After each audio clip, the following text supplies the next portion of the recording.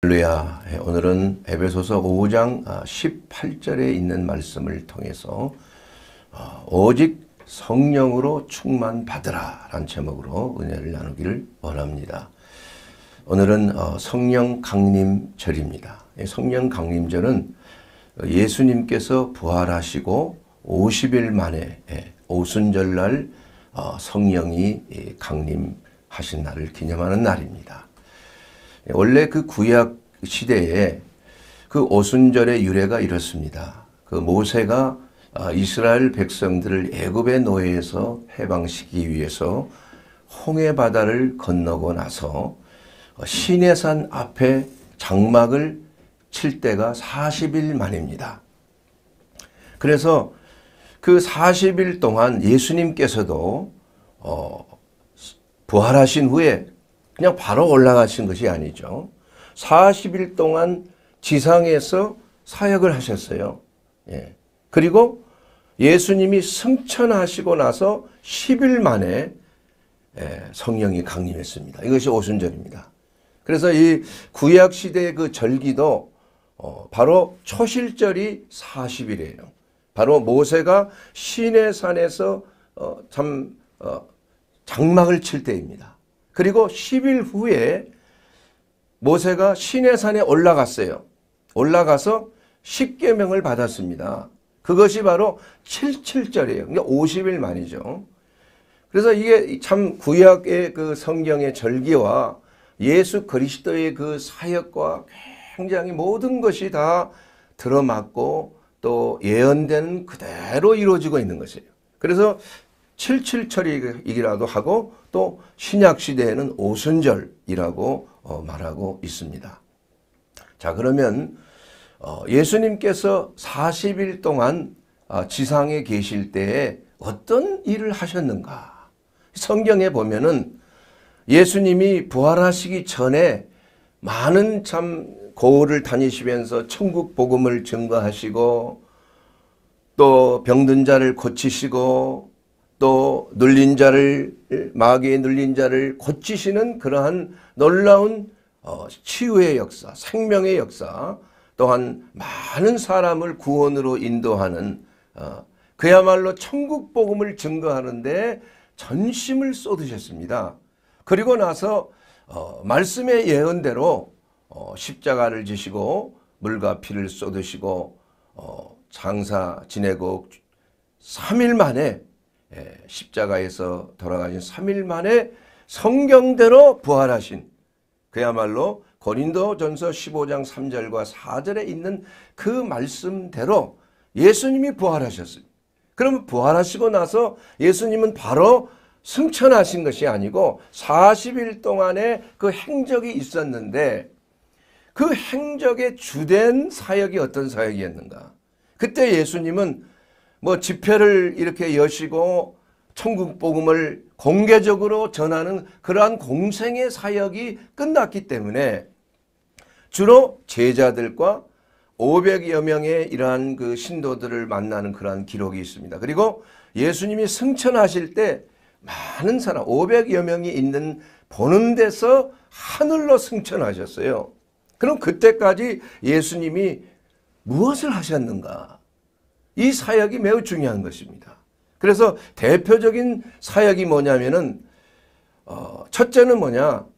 바로 제자들에게 나타나셔서 어, 부활하신 주일날 예, 죽으신 지 사흘 만에 부활하신 주일날 이 예루살렘에 모여서 이제는 우리가 어떻게 할까? 심히 걱정하며. 이제 주님이 세상을 떠나셨는데 어떻게 할까? 근데 갑자기 주님이 그들의 모인 자리에 제자들이 모인 자리에 나타나셨어요.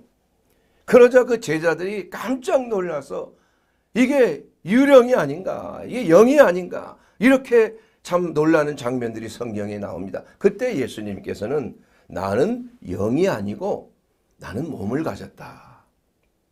나를 만져봐라. 그렇게 하시면서 다 손에 못자국과 또 창작 허리에 창작을 다 보여주셨다 이겁니다. 그리고 나서 뭐라고 말씀하셨느냐? 성 이 제자들이 다 모인 자리에 크게 숨을 내쉬어서 어? 숨을 내쉬면서 성령을 받으라. 이렇게 말씀하신 것입니다. 그래서 제자들이 그 예수 그리스도께서 직접 숨을 불어넣어 주셔서 성령을 받았다 이거. 예. 그리고 나서 예수님은 직접 제자들에게 뭐라고 말씀하셨어요? 내가 좀 배가 고프다. 너희 중에 먹을 것이 좀 있느냐? 그래서 제자들이 구운 생선 한 토막이 있어서 예수님께 그것을 드시고 예수님은 그것을 받아 드셨다. 이렇게 성경에 기록이 되어 있습니다. 그래서 예수님은 영으로 부활한 것이 아니고 육신으로 부활하셨다는 것을 확실하게 보여주셨어요. 이것이 바로 예수님께서 부활하시고 나서 40일 동안 행적이에요. 그래서 예수님의 그 40일 동안 이 땅에 머물려서 말씀하시고 전파하신 그 주된 것은 부활의 증인이 되어라. 그리고 그들에게 성령을 불어넣어 주신 것. 마치 플룻을 불 때 그 플룻 주자가 플룻에다가 숨을 후 불어넣어 주면 어떻게 됩니까? 아름다운 멜로디가 플룻이라는 악기를 통해서 모든 듣는 사람의 마음을 즐겁게 하는 거예요. 참 감동이 있게 하는 것입니다. 이와 같이 예수님께서 40일 동안 제자들에게 또 500여 이상의 성도들에게 말씀하신 것은 부활의 증인이 되라. 그래서 직접 몸으로 보여주시고 먹기도 하시고 그들과 함께 또 직접 어, 점심을 준비해 주셔서 이렇게 숯불에 구워서 어, 생선도 구워주시고 같이 드시는 그러한 역사를 보이신 것입니다. 그리고 더 중요한 거 한 가지가 있는데 그것은 어, 성령을 받으라입니다. 너희는 이 성을 떠나지 말고 내가 아버지 하나님께 올라가게 되면 이제 너희에게 성령을 부어주리라. 예. 그러니 그때까지 너희는 예루살렘을 떠나지 말고 이 성에서 성령이 오시기까지 기다리라. 이렇게 말씀했어요. 그래서 그들은 어, 전심으로 하나님 앞에 에, 기도하고 또 오순절날이 되어서 마가의 다락방에 모여서 약 120여 명 정도의 성도들이 모여서 약속하신 성령이 오시기를 간절히 구했을 때 50일 날째 주님이 승천하시고 나서는 10일 만에 성령이 오신 것입니다. 그렇게 해서 어, 예수님께서 그 40일 동안의 행적을 통해서 우리는 성령을 받도록 하기 위해서 예수님은 직접 부활하신 몸을 보여주셨고 또 보이는 데서 하늘로 승천하셨고 그리고 10일 만에 약속의 성령을 부어주셨다 이거예요. 자 그러면은 부활절 날 참 예수님이 부활하시고 3일 만에 죽으신 지 3일 만에 부활하신 날 성령을 불어넣어 주신 거하고 오순절날 내린 성령하고는 뭐가 다른가? 이것은 같은 성령이지만 그러나 어, 성령의 능력과 권능을 받는 것과 또 부활의 증인으로서의 성령을 받는 것과는 차이가 있다 이겁니다. 예, 그것은 좀 이따가 제가 말씀을 드리겠는데 우선 성령이란 분이 어떤 분이라고 여러분 생각합니까? 예.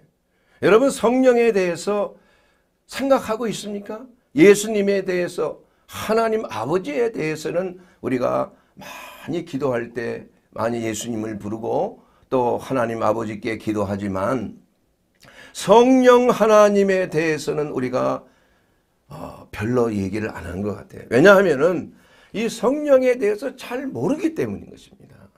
도대체 성령이란 분이 어떤 분인가? 그분은 바로 삼위일체 하나님 중에서 제3위 되시는 하나님인 걸 여러분이 알고 계시죠. 이론적으로 알고 계시죠.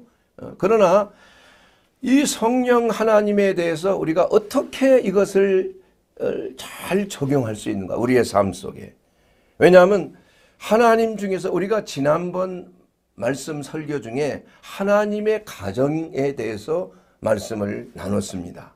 그래서 우리는 이 삼위일체 하나님을 어렵게 생각하지 말고 하나님의 가정이다 생각하라.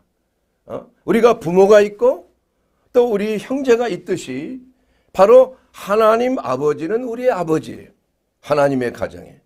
그리고 성령 하나님은 우리 가장 옆에서 우리를 돌보시고 우리를 거듭나게 하시고 태어나게 하시고 또한 우리를 보살피시고 가르치시고 도와주시고 인도하시는 성령 하나님.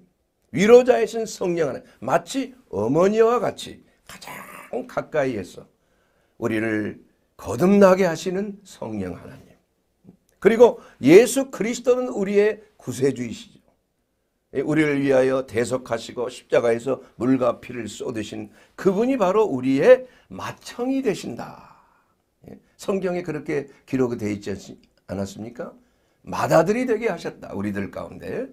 그러므로 우리가 신앙생활을 할 때 아주 단순하게 아버지께 우리가 원하고 기도하고 아버지께 대화를 하고 하는 것처럼 때로는 어, 성령 하나님 우리와 가장 가까이 계신 성령 하나님과 가장 밀접하게 우리는 대화하고 성령님의 인도함을 받는 것이에요. 그리고 우리가 어떤 일을 행하고자 할 때 우리의 모델인 바로 예수 그리스도의 그 태도와 그 모습, 그 발자취를 쫓아서 우리의 맏형 되시는 예수님을 따라서 예수님을 담는 바로 하나님 아버지께서 아들의 형상, 바로 우리의 맏형이 되시는 예수 그리스도의 형상을 담도록 하나님께서는 우리를 예수님을 따르도록 해 주셨다는 것입니다. 자, 그러면은 이 하나님은 어, 성경 말씀에도 요한복음 8장 12절 말씀에 나는 세상의 빛이니 나를 따르는 자는 어둠에 다니지 아니하고 생명의 빛을 얻으리라. 이렇게 말씀하셨어요. 흑암 가운데 있는 모든 세상을 밝게 비추기 위해서 이 땅에 메시아로 오신 예수 그리스도 그분은 빛으로 오셨다. 나는 세상을 비추는 빛으로다. 이렇게 말씀해요. 여러분 이 빛이라는 것에 대해서 우리가 잘 생각해 보면 하나님을 성령 하나님을 잘 이해할 수가 있어요. 자, 여러분 어, 우리가 이 TV나 어, 컴퓨터 PC에 보게 되면 그 색깔을 구현할 때 RGB라고 여러분 들어보셨나요? RGB. RGB라는 것은 R은 레드야, 빨강색. 그 G는 그린이죠. B는 블루입니다. 그래서 그 빛은 바로 세 가지의 색깔로 어, 이루어진 거예요. 그래서 이 세 가지의 색깔을 잘 조화를 하게 되면은 한꺼번에 세 가지 색깔이 다 똑같이 동시에 비치면 하얀 색깔이 비춰지는 거예요. 예? 그리고 빨강과 그린 또 초록과 또 파랑 이것이 적절하게 이, 이게 섞어지게 되면 그야말로 만 가지 수십만 가지의 그러한 색깔의 빛이 예, 탄생이 되는 것입니다. 예. 그래서 그런데 빨강과 노랑과 파랑, 어? 초록과 파랑 이것은 어떠한 색깔로도 그 원색을 구분할 수가 없어요. 그래서 색의 삼원소, 빛의 그 원소인 삼색은 바로 RGB, 빨강과 초록과 파란인 것입니다.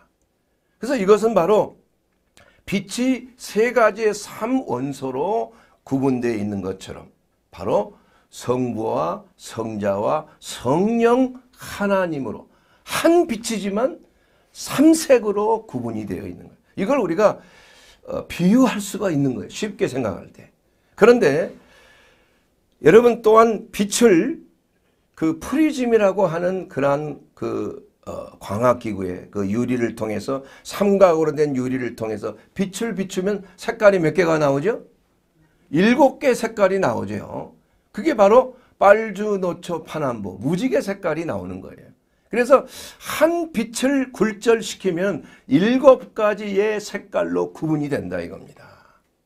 이것은 여러분 참 이게 그 하나님의 그 성령의 그 역사하심대로 성령 하나님에 대해서 우리가 성전에 들어가게 되면 오른쪽에는 전설병이 있고 왼쪽에는 등대가 있어요. 그래 그 등대에 일곱 촉대가 있대요. 일곱 촉대. 그 일곱 촉대는 바로 일곱 가지의 영, 바로 성령의 일곱 가지의 영을 묘사하고 있는 거예요. 빛이 일곱 가지로 굴절돼서 빨주노초 파남보가 생기듯이 우리 하나님의 영, 성령 하나님은 바로 어, 지혜와 총명의 영. 여러분 촛대를 한번 생각해 보세요. 그게 가지가 몇 개 있습니까? 총 여섯 개가 있고 가운데 하나가 있어. 총 일곱 촛대예요.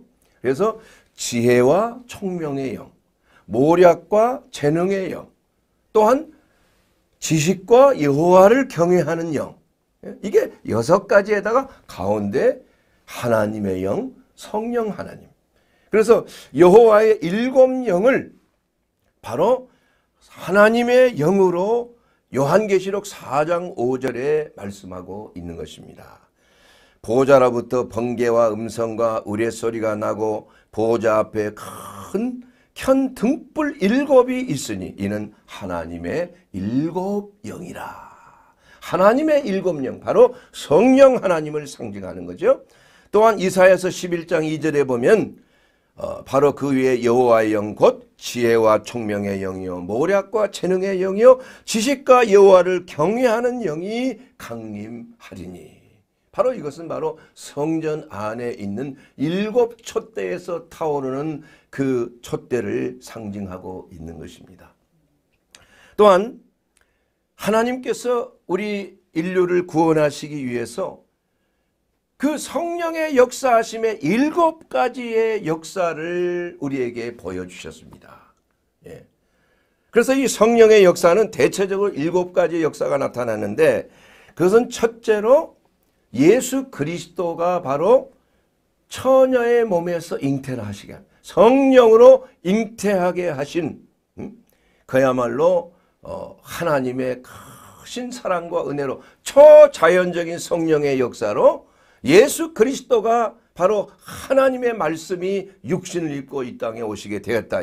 이것이 첫 번째 성령의 역사예요. 두 번째는 뭡니까?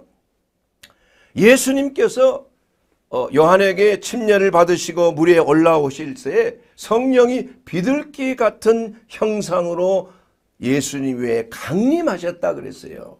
그러면서 너는 내 사랑하는 아들이다. 내가 너를 기뻐하노라 하시니라.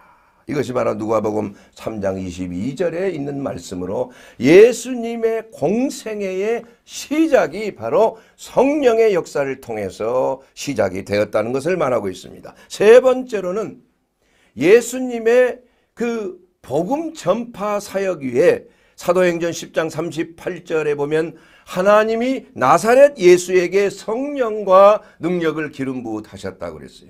그래서 저가 두루다니며 선한 일을 행하시고 마귀에 눌린 모든 사람을 고치셨으니 이는 하나님이 함께 하셨습니다.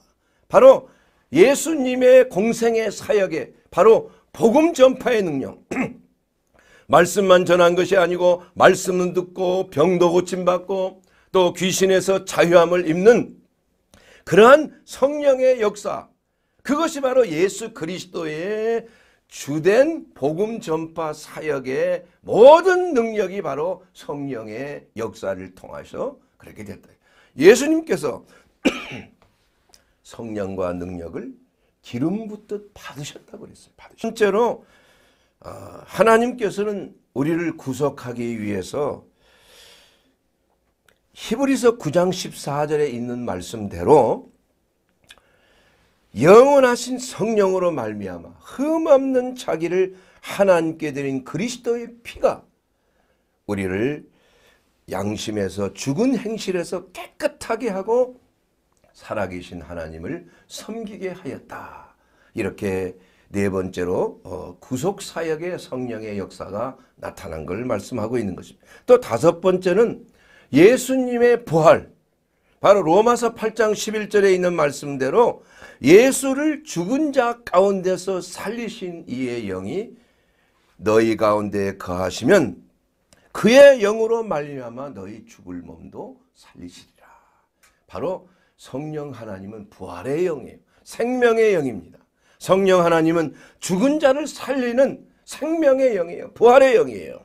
또한 여섯 번째로 예수님께서 제자들에게 또한 성령을 부어 주심으로 말미암아 예수님이 하셨던 그 사역을 제자들이 할 수 있도록 성령의 역사가 우리 가운데 있다는 것입니다. 이 제자들이라는 것은 사도들만 얘기하는 것이 아니라 예수를 믿는 모든 성도들 우리에게까지 전파되었던 복음을 통해서 하나님의 성령이 우리에게 임하면은 예수님이 하셨던 그 사역을 복음 전파 사역을 성령의 역사를 통해서 오늘도 생명의 말씀을 전하고 또한 병든 자를 고치고 마귀에 눌린 자를 해방시키는 성령의 역사하심이 그대로 믿는 자를 통해서 나타나고 있다는 것입니다.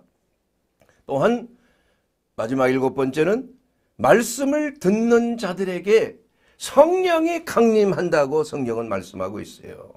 베드로가 어, 참 복음을 전할 때 음? 사도행전 10장 44절에 보면 말씀을 듣는 모든 사람에게 성령의 임재하심이 나타났더라 이거예요. 예? 그렇게 해서 이방인들에게도 성령이 임재하는 것을 보고 깜짝 놀랐다. 왜냐하면 그때 초대교회 때 베드로가 복음을 전하고 말씀을 전할 때 갑자기 성령이 이방인들에게 그들은 예수 그리스도를 알고는 있었지만 유대인들과는 구분된 이방인들이었죠. 그들에게도 성령이 부어진 걸 알았다. 어떻게 알았습니까? 그들이 성령 받고 방언도 하고 예언도 하는 그러한 표적이 나타났다. 이 표적이. 그래서 그 깜짝 놀라는 그러한 어, 그 현상이 나타났다는 것을 알 수가 있는 것입니다. 이와 같이 성령 하나님께서는 어, 성부 하나님과 성자 하나님과 달리 성령에 대해서 우리 헬라어 원어를 보게 되면 어, 남성과 중성과 여성 세 가지로 구분이 되어 있는데 성부 하나님과 성령 어, 성자 하나님에 대해서는 남성으로 표현이 되어 있어요. 그, 예, 그 성이. 그러나 성령 하나님에 대해서는 중성으로 표현이 되어 있어요. 우리나라 말에는 남성과 여성 중성이 없잖아요. 독일 말에는 그게 있죠. 그래서 뭐, 어? 뭐 사는 뭐 예를 들자면 뭐 남성이다. 뭐 이렇게 예, 말하기도 하고, 어, 또 강은 또 여성이다. 뭐 이렇게 예, 그렇게 그, 그 성이 붙게 되죠. 이와 같이 성령 하나님에 대해서는 푸뉴마, 중성으로 표현을 하고 있는데 그 중에서도 두 가지로 또 표현이 좀 다릅니다. 반드시 성령 위에 더 스피릿이라고 하는 그 관사가 붙는 경우가 있고 그냥 스피릿이라고 하는 푸니마라고 하는 그러한 관사가 붙지 않는 두 경우가 있다 이겁니다. 이것은 바로 성령 하나님께서 더라고 붙을 때는 바로 인격적인 성령 하나님의 그 인격의 성령 하나님을 말하고 있지만은 어, 그러나 또 성령의 그 단어 위에 붙지 아니할 때는 어, 뭐 바람이라든지 물이라든지 능력이라든지 이러한 그러한 것을 표현할 때는 어, 관사가 붙질 않아요. 그래서 성령 하나님은 인격으로 묘사되기도 하지만은 또한 비인격적인 능력으로도 성령님을 나타내는 경우가 있다는 것을 우리는 알 수가 있는 것입니다. 예를 들자면 인격으로 표현되는 그러한 경우에는 어, 마리아가 요셉과 약혼하고 동거하기 전에 성령으로 잉태된 것이 나타났다. 이 성령은 바로 인격적인 성령 하나님이에요. 또 요한복음 20장 22절에 보게 되면은 예수님께서 제자들을 향하여 숨을 내쉬면서 성령을 받으라. 이렇게 할 때는 인격적인 성령 하나님의 그 관사가 딱 붙는 것입니다. 어, 그리고 어, 또 다른 경우가 있는데 그것은 어, 베드로 후서 1장 21절에 있는 그 말씀을 통해서 예언은 언제든지 사람의 뜻으로 나타낸 것이 아니라 오직 성령의 감동하심을 받은 사람들이 하나님께 받아 말씀한 것이라. 이렇게 할 때는 또한 더라고 하는 인격적인 관사가 빠져 있는 것입니다. 이와 같이 성령 하나님은 어, 바람처럼 임하고 물처럼 역사하고 또한 불처럼 임재하는 하나님의 임재하시는 성령님의 그 특성이 바로 인격적인 하나님이었다가 또 능력으로 역사하시는 그 하나님 그야말로 변화무쌍한 하나님의 그 임재하심과 역사하심이 우리가 성경을 통해서 성경의 임재하심이 구름처럼 그 임재하시는 쉐키나의 영광 어? 이 성령의 임재하심을 나타낼 때는 비인격적인 이러한 그 표현으로 나타난 것을 우리는 알 수가 있는 것입니다.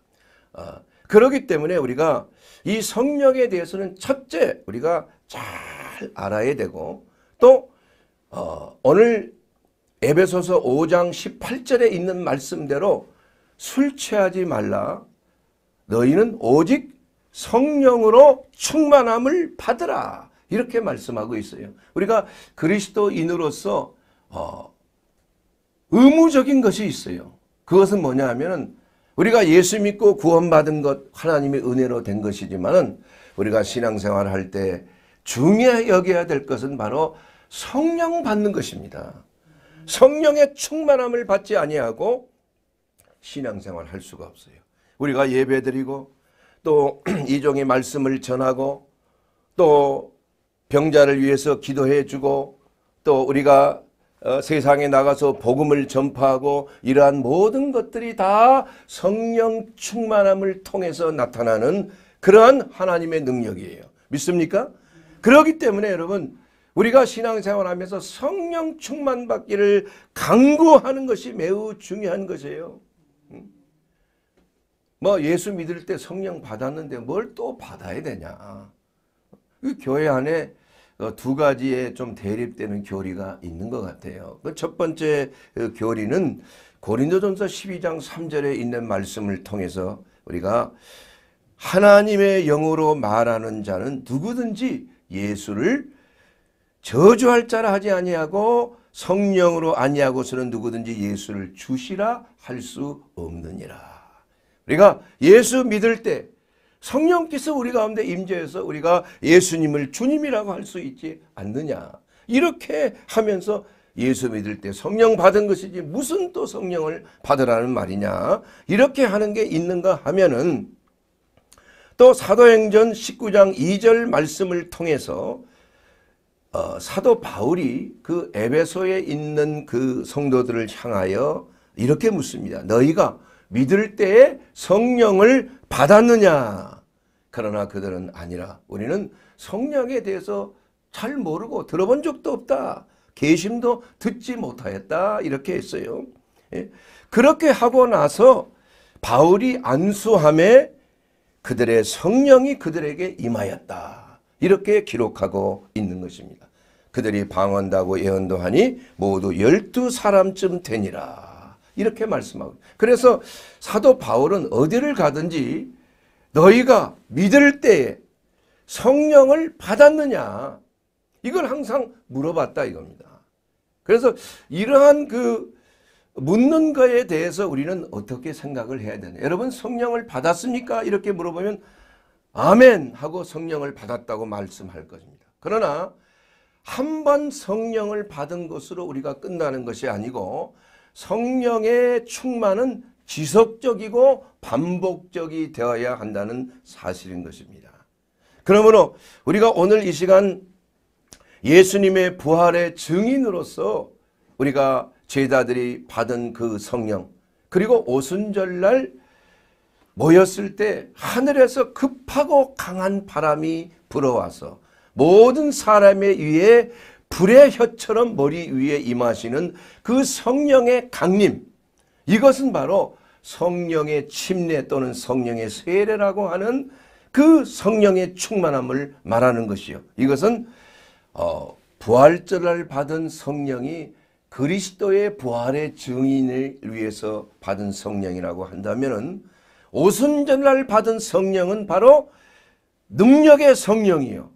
어, 그들이 성령 받고 나서 나가서 하루에 5천 명이 회개하고 구원받는 놀라운 역사가 어, 성경에 기록이 되어 있지 않습니까? 이와 같이 우리가 이 성령의 침례나 세례를 받고 나서 우리가 하나님의 능력을 부여받는 놀라운 역사가 아, 바로 어, 성령을 받는 충만받는 일이라는 사실을 우리는 알아야 되는 것입니다. 자, 그러기 위해서 우리는 여러분 잘 들으세요. 성령을 받는 과정이 있다는 사실을 알아야 돼요. 예? 그럼 어떻게 우리가 성령을 받는 것인가? 첫째는 우리가 예수님을 믿을 때 성령께서 우리 가운데 역사하여서 예수님을 나의 구주로 영접하도록 하신 것이죠. 그래서 로마서 10장 10절에 보면 너희가 마음으로 믿어 의에 이르고 입으로 시인하여 뭐에 이르요? 구원에 이르게 된다고 말씀하고 있는 것이에요. 이것은 바로 성령께서 예수 그리스도가 메시아이심을 구세주가 되심을 알 수 있도록 믿, 믿을 수 있도록 성령께서 여러분에게 감동을 주셨기 때문에 예수님을 나의 구주로 나의 하나님으로 영접한 줄로 믿습니다. 맞죠? 예. 그렇기 때문에 이것이 첫 번째 단계예요. 그렇게 되면 이제 예수님을 믿게 되면 우리는 어디로 들어가는 것이 예수 그리스도 안으로 들어가는 것이에요. 예? 예수 그리스도 안으로 들어가는 거예요. 그리고 두 번째로는 교회를 이루게 되죠. 교회를. 예수 믿고 믿는 사람들은 단독적으로 신앙생활을 할 수가 있는 것이 아니고 교회라고 하는 에클레시아 바로 어, 불러 모은 세상 밖으로 불러 모은 무리라고 하는 교회라는 단체 속에서 지체가 되도록 하는 그 예식이 무엇이냐 바로 침례나 세례를 주는 것이죠. 이것은 사람이 주는 것이에요. 이건 목사님이 주는 것이죠. 제자들이 주는 것이죠. 그래서 마태복음 28장 19절에 있는 말씀 그대로 너희는 가서 모든 민족으로 제자를 삼아 아버지와 아들과 성령의 이름으로 침례 또는 세례를 베풀고 내가 너희에게 분부한 모든 것을 지키게 하라. 내가 세상 끝날까지 너희와 항상 함께 하느니라. 이것은 바로 두 번째로 침례를 통해서 세례를 통해서 우리가 교회의 한 일원으로 들어가는 걸 말하는 것이에요. 음. 그래서 우리가 어, 침례 예식을 행한 후에 그 침례 증서에 뭐라고 써 있습니까? 어? 침례를 성부와 성자와 성령의 이름으로 받음으로 이제 우리 전인주 교회의 회원이 되었습니다. 이렇게 말하는 거예요. 그래서 침례라는 예식은 바로 구원받은 하나님의 자녀로서 만인들에게 선포하고 첫 번째 순종으로 예수 그리스도 주님의 몸된 교회의 지체가 되는 예식이 바로 침례 예식 또한 세례 예식이 되는 것입니다. 이것으로 끝나는 것이 아니라 우리는 어떻게 되죠? 세 번째는 뭐예요? 예수님이 주시는 이제는 성령의 침례를 받는 것이에요. 마가복음 1장 8절에 뭐라고 말씀하셨습니까? 나는 너희에게 물로 침례를 주거니와 그는 너희에게 성령으로 침례를 베푸시리라. 그가 누구십니까? 바로 예수 그리스도 마태복음 3장 11절에 나온 그 말씀대로 어, 침례 요한이 이렇게 말합니다. 나는 너희에게 물로 침례를 베풀거니와 내 뒤에 오시는 이는 나보다 능력이 많으시니 나는 그의 신을 들기도 감당하지 못하겠노라. 그는 성령과 불로 너희에게 침례를 베푸실 것이요. 이렇게 말씀하고 있어요. 이것은 뭘 말씀하고 있는 것입니까? 예. 이것은 성령께서 우리 안에 거하시는 걸 내주하시는 것을 말씀하고 있어요. 이제 성령을 받으면은 이제는 우리의 몸이 성전이 된다 이거예요. 이것이 바로 성령의 침례요 또한 성령의 세례라고 하는 것입니다.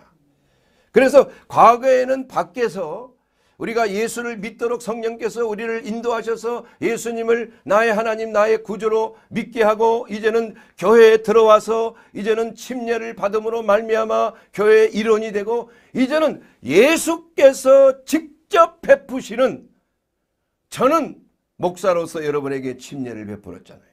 성부와 성자와 성령의 이름. 그러나 여러분이 받아야 될 것은 예수 그리스도의 침례를 받는 거예요. 그 침례는 바로 성령의 침례요. 성령의 세례라는 것이에요.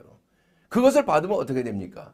바로 성령께서 이제는 내 안에 거하셔서 나를 인도하시고 말씀해 주시고 다스리시고 역사하시는 성령의 감동 감화가 늘 우리와 함께 있게 되기 때문에 이제는 우리의 몸이 이제는 하나님이 거하는 전이 되는 것이다.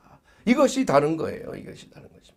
그래서 우리가 신앙생활을 하더라도 어렵게 신앙생활 할 필요가 없어요. 성령님께서 우리 안에서 늘 우리를 인도하시고 늘 우리에게 말씀이 생각나게 하시고 우리가 어려움을 당하고 힘든 일을 당할 때 위로해 주시고 우리를 위하여 기도하시고 또 우리를 위하여 모든 범사에 마치 어머니처럼 선생님처럼 가정교사처럼 내 옆에서 가르쳐 주시고 인도해 주시고 말씀을 먹여 주시고 또한 하나님의 그 선하신 뜻, 온전하신 뜻, 기뻐하신 뜻을 항상 바로 알 수 있도록 깨닫게 할 수 있도록 하시는 분이 바로 성령 하나님이시란 얘기예요.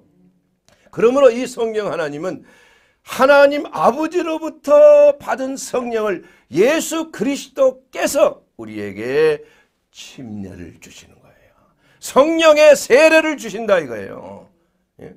그래서 사도 바울은 너희가 믿을 때에 성령을 받았느냐 그 성령 받으라고 한 사람이 예수 믿는 사람인 거 제자들에게 말했다고 그랬어요. 예? 그런데 무슨 또 성령을 받으란 말이냐? 이건 뭘 말하냐면 성령의 충만함을 받아야 된다. 술 취하지 말라. 이는 방탕한 것이니 오직 성령의 충만함을 받으라.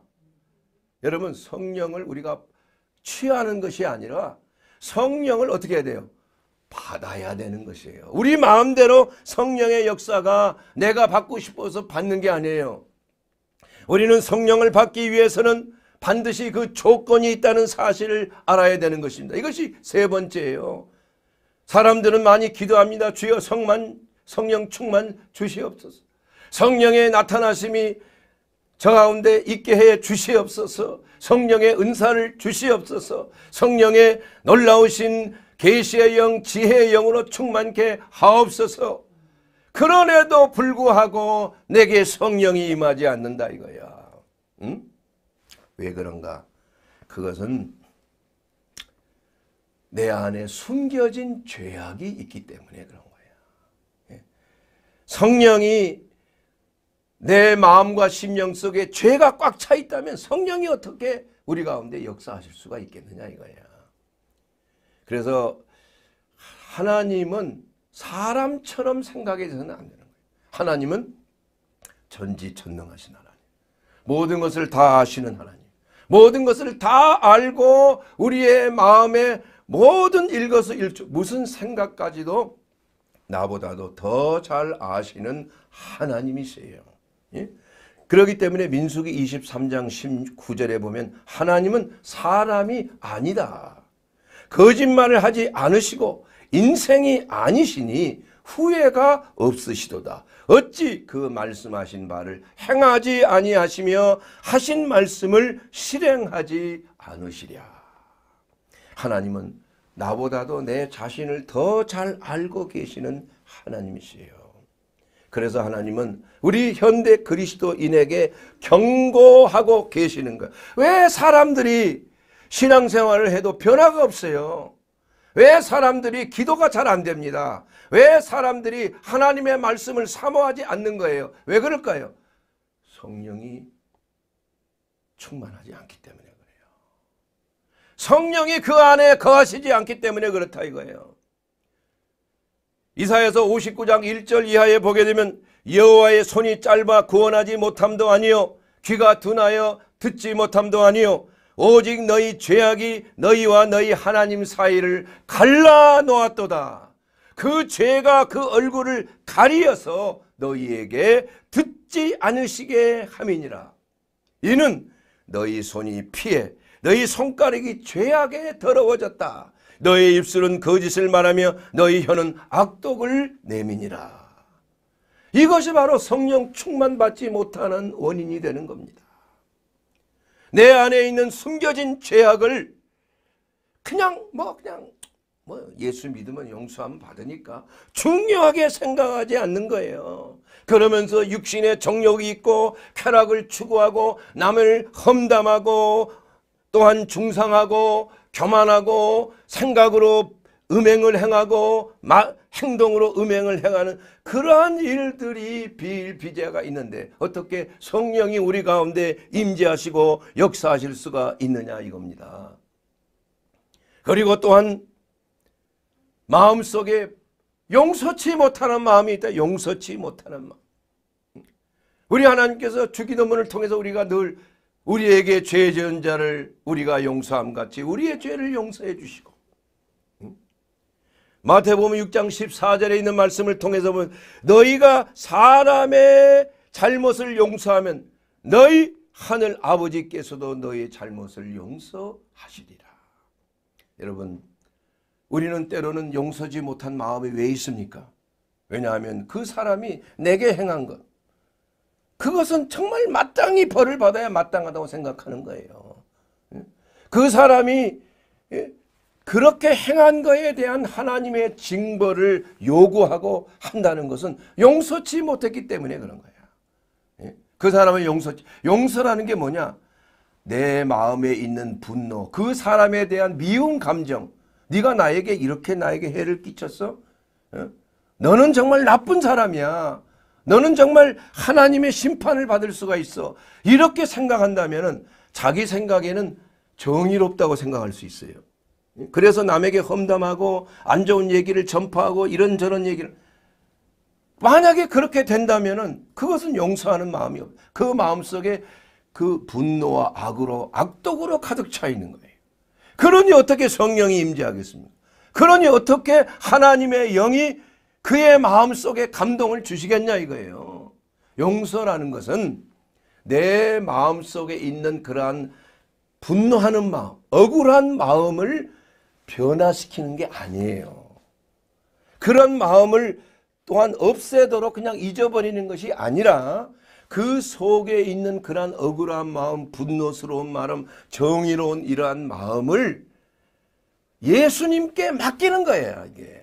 이게 용서하는 마음이에요. 그리고 내 마음을 비울 때에 그리스도의 생각, 하나님의 생각, 하나님의 용서하는 마음, 그리스도의 그 용서하는 마음, 성령의 임재하심이 물밀듯이 내 가운데 임재하는 것입니다. 그래서 마치 컴퓨터의 잘못된 프로그램을 지워버려요. 그냥 없애버리는 것처럼. 그랬을 때 새로운 하나님의 프로그램, 용서의 프로그램, 사랑의 프로그램, 어? 은혜의 프로그램, 평강의 프로그램이 쫙 다운로드 된 것과 마찬가지라 이겁니다. 이렇게 되었으면 그때 성령이 임하시는 거예요, 여러분. 사랑하는 여러분. 우리가 성령이 아니고서는 예수를 주라 시인할 자가 없습니다. 우리가 성령을 통해서 예수님을 나의 구주로 믿었고 또한 성령을 통하여 우리가 주님의 몸된 교회의 지체가 되었고 성령을 통하여 우리 안에 거하시는 성령님의 인도하심을 통하여 우리는 하나님의 자녀로서 그야말로 풍성한 생명을 누릴 수가 있는 것입니다. 그러기 위해서 우리는 어떻게 해야 돼요? 첫째는 내 마음을 정화시켜야 돼요. 내 마음속에 숨겨져 있는 모든 죄악을 다 터쳐내야 돼요. 하나님 앞에 회개해야 되는 것입니다. 그래서 성령 충만받기 위해서 우리가 맨 먼저 시도해야 될 것은 내 마음속에 있는 모든 죄악과 허물을 다 하나님 앞에 고백해야 되는 거예요. 깨끗한 그릇만 하나님이 쓰시는 줄로 믿습니다. 성령 하나님은 거룩한 영이세요. 성결의 영이십니다. 그러므로 우리가 금그릇, 은그릇, 질그릇이 있듯이 하나님은 아무리 금그릇이라고 해도 깨끗하지 않은 그릇은 쓰지 아니해요. 질그릇일지라도 우리같이 연약한 질그릇일지라도 우리의 마음을 깨끗하게 하면 우리 하나님께서 우리를 사용하시고 주의 성령이 우리 가운데 충만하여서 정말 마지막 때에 하나님의 귀한 도구로서 사랑의 도구, 치유의 도구, 회복의 도구로서 생명의 도구로서 쓰임을 받게 되는 줄로 믿습니다. 여러분 그러기 위해서 우리 성령 하나님께서 우리 가운데 말할 수 없는 탄식으로 우리에게 원하시는 것입니다. 아직까지 예수 그리스도를 나의 하나님, 나의 구주로 받아들이지 아니한 자는 오늘 이 시간 이 말씀을 통해 성령의 감동이 역사하시고 임재할 때 예수 그리스도가 나의 주님, 나의 하나님으로 나의 삶을 다스리시는 나의 왕으로 섬기게 되기를 주의 이름으로 축원합니다. 그리고 나서 우리는 교회의 일원이 되고 교회에서 주시는 하나님의 풍성한 말씀과 생명 안에서 우리가 주님이 오시는 그날까지 우리의 머리가 되신 예수 그리스도를 닮아가고 주님의 선하신 뜻을 이루는 삶을 살도록 우리에게 성령께서 우리 안에 거하시는 줄로 믿습니다. 사랑 여러분, 성령이 아니고서는 우리가 어떠한 일도 하나님의 영광을 위하여 할 수가 없는 것입니다. 그러므로 내 안에 내 자신을 부인하고 내 안에 예수 그리스도가 살아서 이제는 내가 사는 것은 내 안에 계신 예수 그리스도께서 사신 것이라. 오늘 우리가 예배드리고 이 말씀을 통해서 이 성령 강림절 너희가 믿을 때 성령을 받았느냐? 우리가 성령 충만함을 받기 위해서 우리의 마음과 심령을 깨끗하게 비우고 오늘도 우리 주의 거룩한 성령의 침례를 받고 충만함을 받아서 이제는 하나님의 자녀로서 하나님의 영광을 위하여서 하나님의 예비하신 그 축복의 부르신 부름의 상을 위하여서 우리가 성령의 능력을 받고 부활의 증인으로서 그리스도의 살아계신 능력을 증거하는 저와 여러분이 되기를 주의 이름으로 축원합니다.